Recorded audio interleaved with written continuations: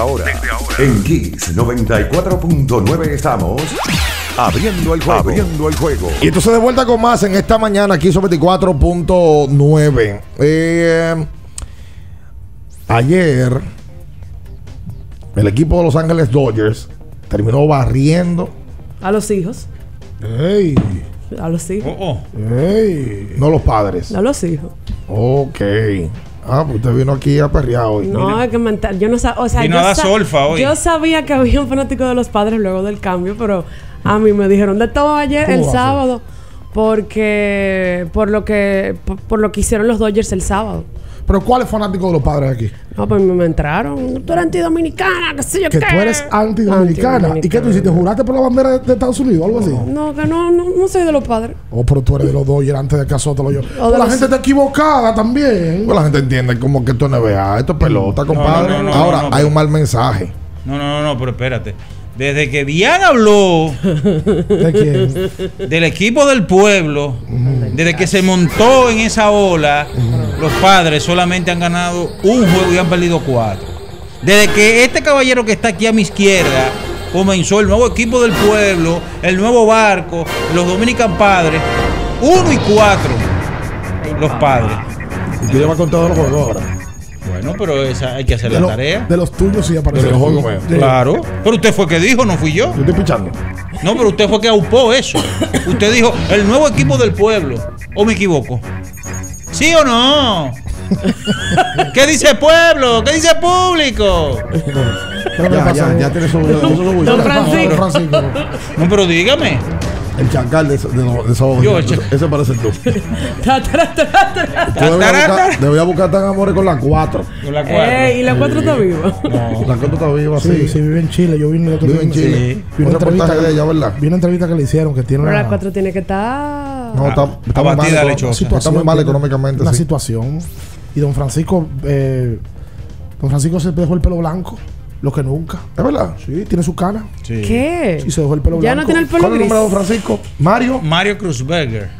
Exacto. Tiene un apellido extraño. No sé si Alemán, es ese. alemán. Alemán. No sé si es el apellido. Sí, alemán. Pero tiene un apellido extraño. Tiene como cinco consonantes juntas. El apellido arrancando. Eh, un, un- un figurón en su momento, don Francisco. La- nos- nosotros nos medimos Las eso. doñas locas con Don Francisco. América Latina tiene que ser el presentador más famoso del, del siglo. Totalmente, loco. Y del siglo anterior. Sin duda Don alguna. Francisco, por lo don Francisco es una locura.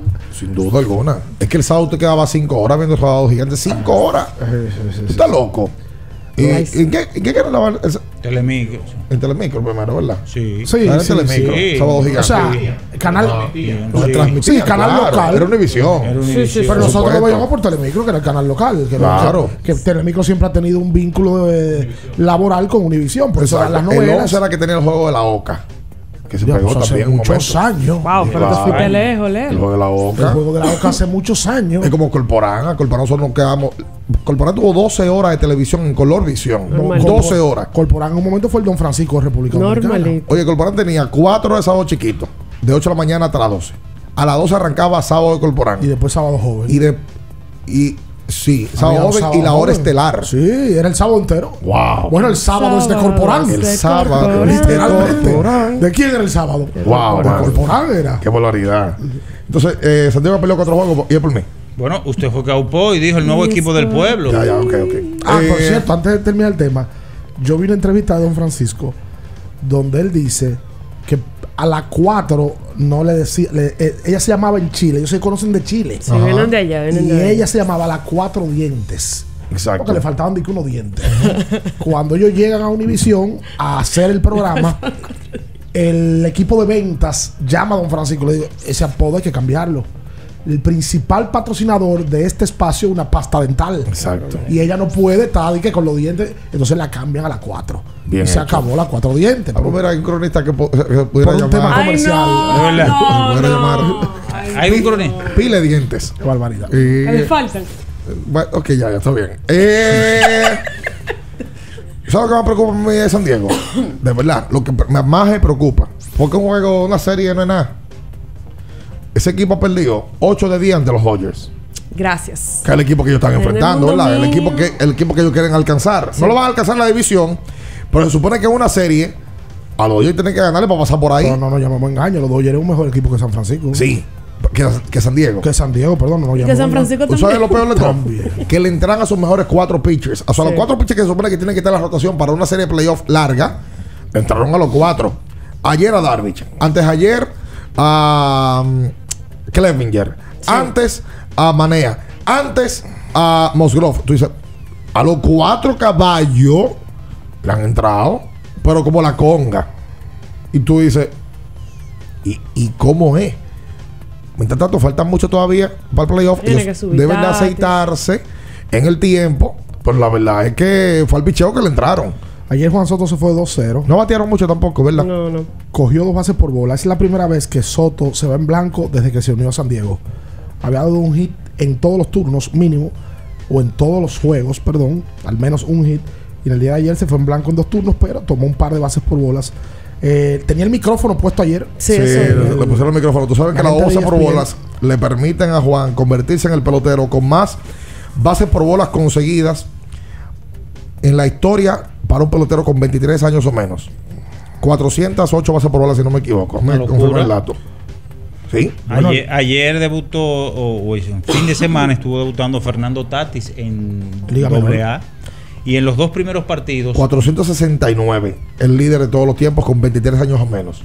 Y ayer, o por lo menos est- estos dos primeros partidos, se ha ido de 5-0. No, ya usted lo va a acabar. Yo no lo. Pero espérate. No, pero todavía. está mal. De Tiene que apurar el paso. De 5-0 con dos bases por bolas. Pero ahorita dice usted que tiene que apurar el paso con No, cinco no, pero turnos. espérate, ¿Quién, pero todavía. Él, de, de Tatis Junior, que está jugando Liga pero- Menor. Míralo, cuando lo escuché decir eso esta mañana, le dije, estamos a ley de un juego más. Es para que apure el paso. Pero, pero el que está el que está mal grave es José Siri, señores. Espérate, o antes, espérate. Tatis Jr., al que pregunta, que mucha gente dice, no, él va a volver como, como centerfield. No, como shortstop.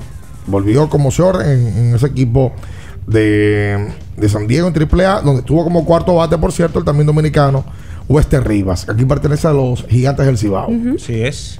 Mira, con el dato que tú mencionabas de Juan Soto, son 469 bases por bolas. La mayor cantidad antes de tener 24 años, según pone Sarah Langs, él ya, mira con- miren con quién está.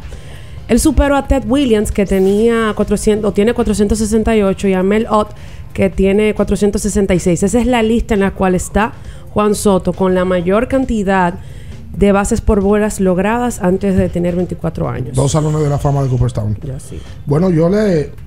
Escúchame, ¿qué es lo que estás hablando tú? De José Siri, que está grave con sí, el ok, déjeme decir todo eso.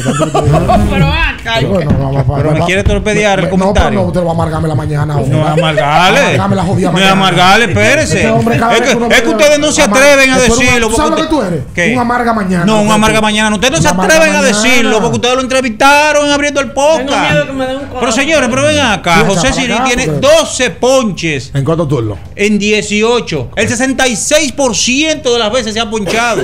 ¿Y cuántos se ha dado? ¿Eh? ¿Cuántos se ha dado? Dos y nada más. 111 batea. Ni ¿Y qué- placa de regidor ni de ¿Cuánto- diputado. ¿Cuántos turnos tiene?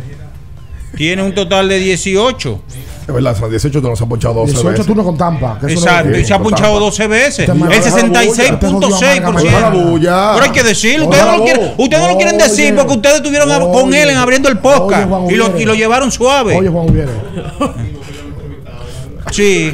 ¿Qué, qué cosa? Todos los jugadores han estado en baja. Escúchame. Han estado en baja. Cano. Cano, Cano. está libre. Está libre. Ah. Pero otra vez el libro. Siri, Está libre. O sea, está, está en baja. Nelson Cruz. En baja. Espérate, pues Nelson Cruz, el gerente del clásico. Sí, pero, pero, pero ¿cuándo está bateando? Con, con- pero eso. ¿cuándo está bateando con, ¿Cuál- con cuál Nacional?